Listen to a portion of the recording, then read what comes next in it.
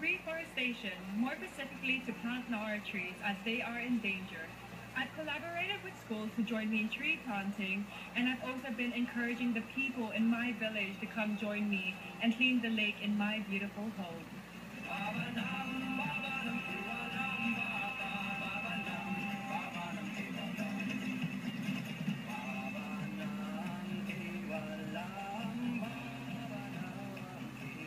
Because it symbolizes strength, persistence, endurance, and dur- durability. It's like us Filipinos.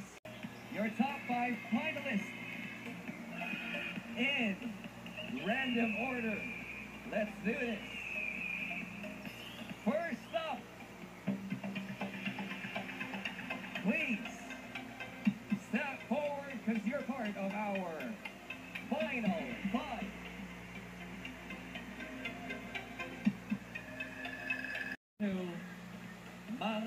Tarema Pangasinan. Breathe in, breathe out. You're all set? All right. This is it. The final question is this. What do you think people in the future would say about your generation? What do you think people in the future would say about your generation? In this generation we live in, we have a thing called cancelled, where we cancel out people, and I kind of want to make a change with that. I want to spread positivity. It's all about being positive and being happy and being genuine. And I feel like, you know, the future should look at us and be like, wow, they did really good. Thank you very much. Meaning Dogget gets the Miss Philippines Air title. Okay, there is no turning back. Mr. Mayor.